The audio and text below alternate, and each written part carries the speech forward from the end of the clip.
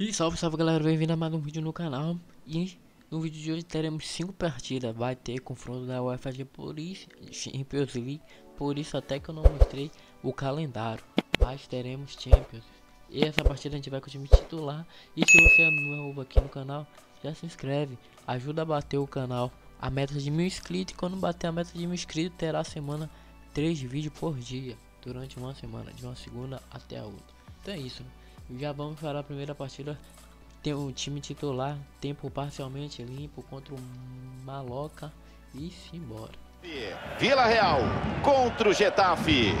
Dois times qualificados e a promessa de um bom jogo. Mbappé. A torcida faz barulho, é pro Mbappé, dá para bater. É gol!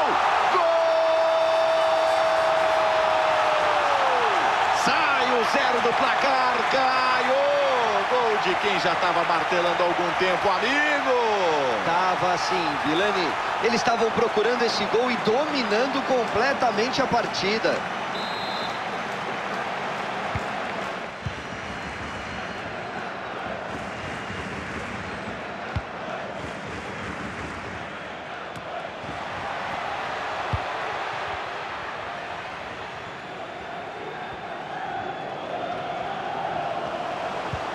Tenta a bola enfiada. Gol! Para abrir vantagem. São dois gols na frente. Ô, Caio! Tem aquela máxima de que esse é o placar mais perigoso do futebol, Vilani. Eu discordo. 2 a 0 é vitória encaminhada.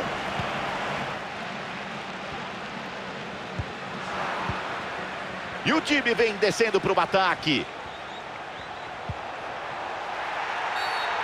Apita o árbitro, é falta. Exagerou, o árbitro vai na direção dele.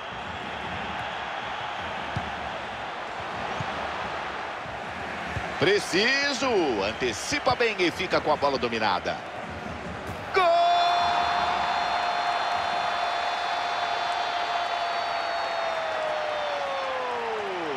E ele mete fogo no jogo. Ainda dá para empatar, Caioba.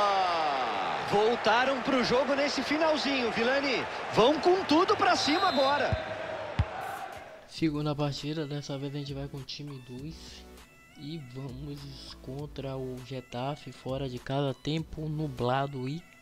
Simbora. Primeiro gol da Real Sociedade Agora tá 1 a 0 no placar, com 6 minutos de bola rolando. Plantão esportivo, Natália Lara. Craque, valeu. Rashford. Gol! De um jogo que promete dar 1 a 0 logo no começo do jogo. Nesse gol eu destacaria o posicionamento. Estava no lugar certo na hora certa. E a queima-roupa não tinha como perder. Lopes faz a defesa.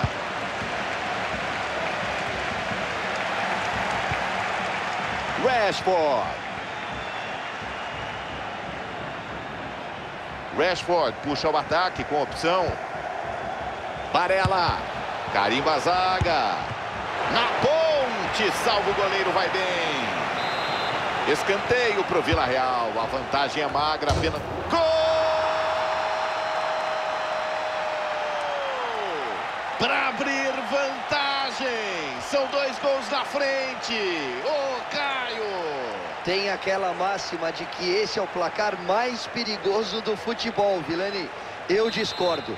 2 a 0 é vitória em La Liga Santander, mais um jogo com promessa de muita emoção. Getafe contra o Sevilha. Acho que a torcida pode esperar uma grande partida. Quero ver! Sem goleiro, vai fazer! Gol!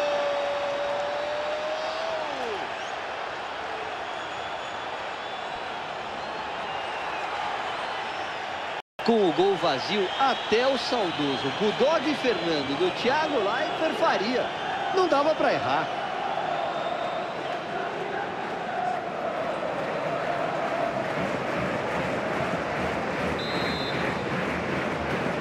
Guedes pediu. Gonçalo Guedes. A EA Esportes ao vivo informa 30 passados, segundo tempo. Marcial com ela. Ganham a dividida no campo inimigo.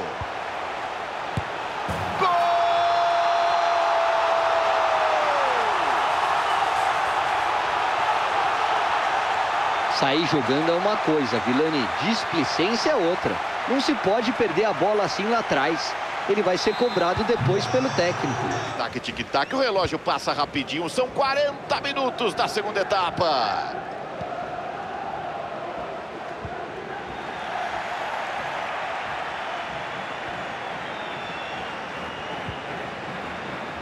Toque para o Vinícius Júnior. Tá na cara do gol. Gol! Para vantagem ficar ainda maior. São três gols à frente no placar. Tudo começa com a roubada de bola e a boa armação do contra-ataque. E mesmo com marcação, ele conseguiu finalizar para fazer o gol. É galera, pela primeira vez aconteceu de estar com o time cansado para disputar um jogo da UEFA Champions League. Não foi um erro de planejamento, mas aconteceu imprevisto, né? Tinha uma final antes desse confronto, que afinal vocês vão ver depois desse vídeo. Então eu vou ter que mexer no time. Ainda bem que os time do, os jogadores do time 2 são jogadores bons, né? Nem todos são bons, mas a maioria são muito bons. Mentira, todos são muito bons. Alguns vão ser mantidos. Vini Júnior pagou uma bala, vai continuar no campo. Pietro, revelação na base, continua no jogo. Mbappé nem cansa, né? Mbappé é incansável. E é isso. Deixa eu ver. Filipão que tira. Vou manter o Filipão e. Hum, é, vou manter os dois laterais, o volante e Vini Júnior cansado. Ou tiro o Vini Júnior no primeiro jogo de ida. Da dúvida cruel, hein? Dúvida cruel. Eu vou deixar o Vini Júnior no banco. Vou deixar o Vini Júnior no banco. É porque. Vini. Ou boto o Rashford. Vou de Rashford. Dá essa moral pro Rashford. Nunca jogou de titular, vai ter essa, essa oportunidade. Acho que eu vou lançar parejo também. Vou lançar parejo. Lento, mas vai pro jogo. Tá um pouquinho fora de ritmo, mas vai, pra, vai pro jogo aí. E é isso, né? Pela primeira vez, vamos com um time mesclado em um jogo importante de semifinais de UEFA Champions League contra a Juve. Juve que vem com um time muito forte. É, né? Torcer para não perder de muito e no jogo de volta a gente provavelmente resolve lá no estádio da Juventus. Tempo limpo, confronto em casa contra a Juve, confronto pelas semifinais da UEFA Champions League e simbora. É semifinal de UEFA Champions League, é para ficar sentado e não piscar. A expectativa não poderia ser maior. Você acompanha cada lance com a gente daqui a pouquinho. A finalização foi boa. A bola não entrou por capricho. Pelo jeito vai ficar no 0 a 0 mesmo. Camavinga. A Juventus se aproxima da grande área, busca o gol da vitória nos instantes finais. Sobra campo para jogar, dá para puxar o contra-ataque. Olha o frisson, a galera quer o chute. Bola no Parejo. Varela. Fecha, bloqueia a finalização.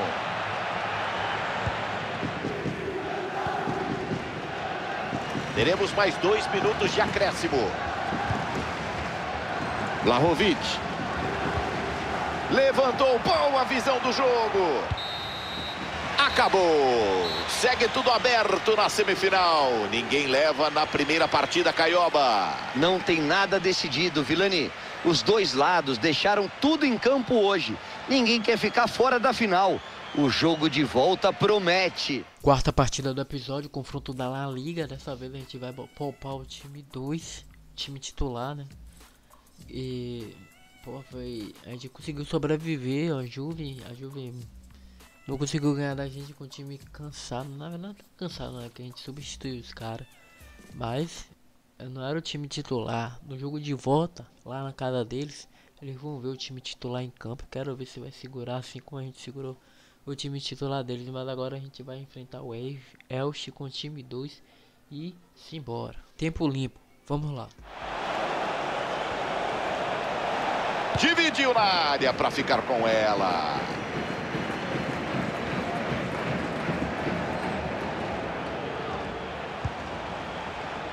Passa, a marcação fica para trás. Rashford, dá para bater. Gol!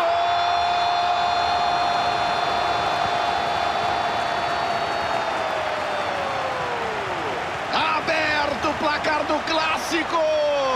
Festa da galera na arquibancada.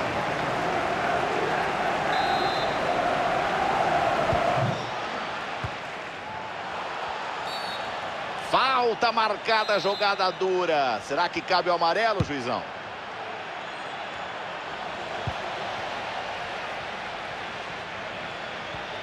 Nos últimos dias a gente tem ouvido falar bastante desse cara, que já confirmou a aposentadoria. Vai deixar muita gente com saudade, Caio. Gol!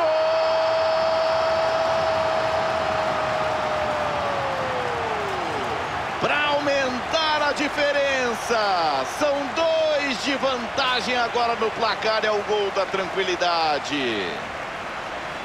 O gol começa com uma linda enfiada de bola, Vilani. E de tão perto assim, não tinha o que fazer. Mérito do Mbappé, que viu a chance e guardou. Para recomeçar o jogo, 2 a 0 no placar. Rashford, na cara do gol. Gol! De novo, de novo, são três de vantagem. Aí dá pra ver que a defesa não teve chance. Passou muito bem pela marcação. E depois de um lance desses, seria um pecado não sair o gol.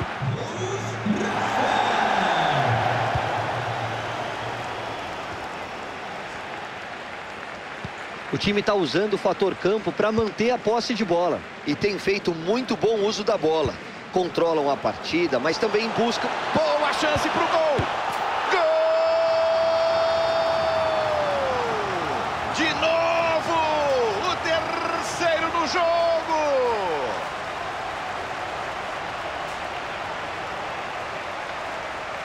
Aí não tinha jeito. Dois contra um. Em ritmo de treino, um gol aberto, Caio. É isso. Assim fica muito complicado de você travar o chute. No escanteio. Não conseguiu afastar. Segue o lance. Chega bem na área e corta.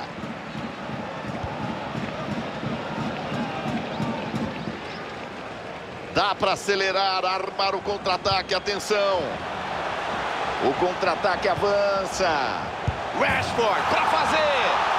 Gol!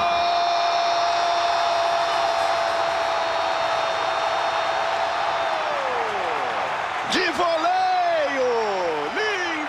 Chute, manda para o fundo do gol. Esse é o replay. O time descolou um belo cruzamento para a área, certeiro. E daí saiu a finalização, precisa, de perto. E foi só sair para o abraço.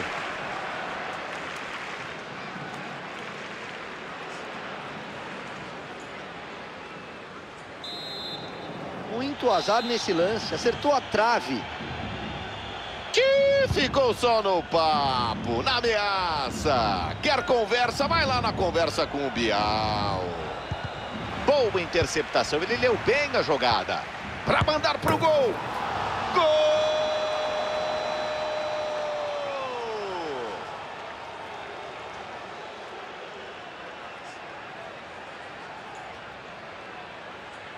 Ele teve muita visão de jogo para marcar esse gol. Percebeu o espaço que tinha na marcação e chegou na cara do gol para marcar. Aí o goleiro ficou sozinho, batido. Para Expo. Bem, recupera sem pênalti, vai só na bola.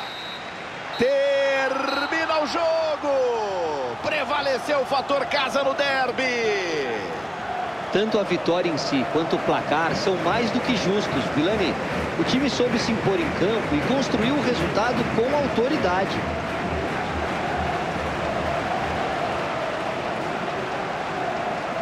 E agora a partida mais decisiva do campeonato até o momento. Confronto contra a Juve, jogo de volta. A primeira partida foi 0 a 0 em casa, agora é fora de casa. Todos os dois times estão iguais, né? Todo, ninguém fez gol, então ninguém tem vantagem. Mas agora a gente tá com o time titular totalmente descansado para esse confronto. E aí eles mexeram no time. Hum, eu acho que eles mexeram no time, nas duas pontas. Na zaga, não lembro. Mas os dois pontas, um mexeu. Que tinha um, um JR. Um JR que não tá mais, né? Que era um, tinha um Júnior lá no time deles. A gente tava assim. Vini Júnior. Sem Vitinha Lorente. Sem Kim PP Militão. A gente tava menos 5. Ele estava com o time completo, agora a gente vai pra cima com o time completo. E sim, e simbora. Rabisca Mbappé, quero ver.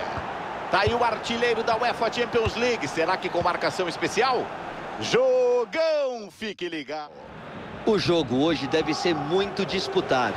No primeiro confronto entre eles, no jogo de ida, as defesas se deram bem e a partida terminou em 0 a 0.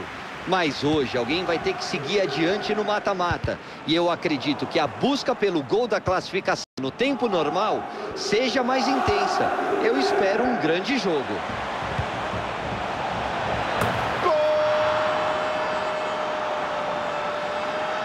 De um jogo que promete dar 1 a 0 logo no começo do jogo. O lance do gol começa com essa bola levantada na área. A marcação estava muito distante e ele cabeceou sem pular.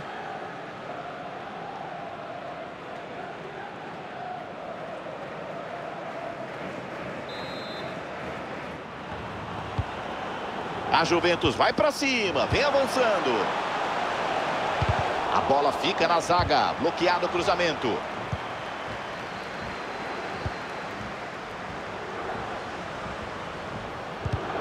Boa interceptação, tava de olho ligado. Jesus!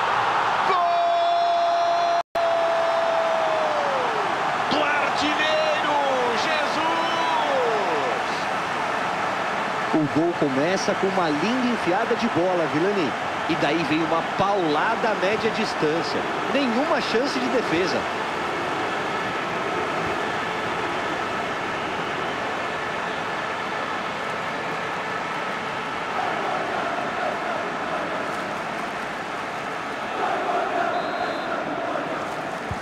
Tudo igual dos placares.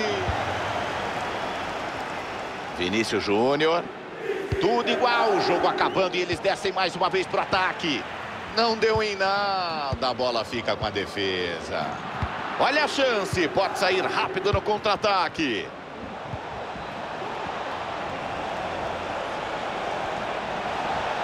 É agora!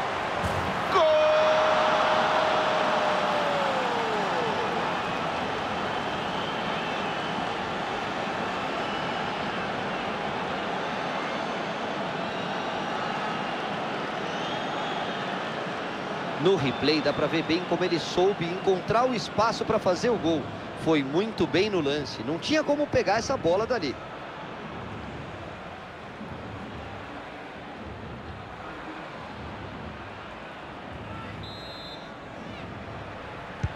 Eu confirmo o placar agregado, 2 a 1. Um. Subiu a placa, mais dois minutos de tempo acrescido. Termina o jogo! Alô, alô, final! Que vaga conquistada fora de casa! Espetacular! Que semifinal foi essa, Vilani?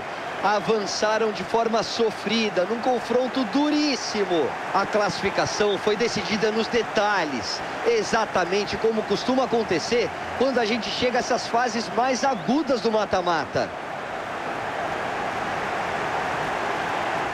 Chegando no final de mais um episódio e olha só, rapaz, o Barcelona foi ultrapassado pelo Atlético de Madrid que eu não estava acreditando nem possibilidade de brigar pelo título. Só que a gente tem um jogo a menos, a gente ainda vai enfrentar o Real Madrid, o Atlético de Madrid. Real Madrid, Real Madrid tem oitavo, hein? corre risco de não ir para nenhum torneio europeu. Ixi, E é, daqui a duas partidas a gente vai enfrentar o Atlético de Madrid. Eu acho que o título já está praticamente encaminhado, né? Essa a gente der muito azar e perder mais duas partidas. Rapaz, Atlético de Madrid só tem duas derrotas. Uma foi pra gente, a outra não sei quem foi. E a gente tem quatro derrotas. E olha que eu não cogitei em ganhar a La Liga invicto. É muito difícil. Porque as derrotas que a gente teve não foi para Barcelona, Madrid. A gente empatou com Real Madrid, empatou com outro time que eu não lembro quem foi, não sei se você Sevilha ou Valência. Não, a gente venceu o Valência. Empatou com o time e as quatro derrotas que eu tive, tirando a do Valência, que descontou, a gente perdeu três jogos para Não, pera aí, perdi para o Valência, Sevilha. As outras duas foi pro Girona, que goleou até. E teve outra que foi, foi um time não muito forte. Tipo, não perdeu nem para Real Madrid, Atlético de Madrid, nem Barcelona. Perdeu para times consideravelmente esses três mais fracos. O futebol é muito louco, né? E eu tô com um, um puta timaço, né? Mas é o que acontece, né?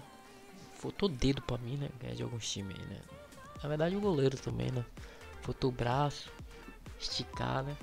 Mas é isso, né? Vou deixando o vídeo por aqui. Se você chegou até aqui, deixa o like para ajudar no crescimento do canal e a gente bater a nossa meta de mil inscritos. Foi indo nessa, hein? Valeu, falou. E a gente tá na final e vamos conseguir disputar o bicampeonato da Champions. Eu fui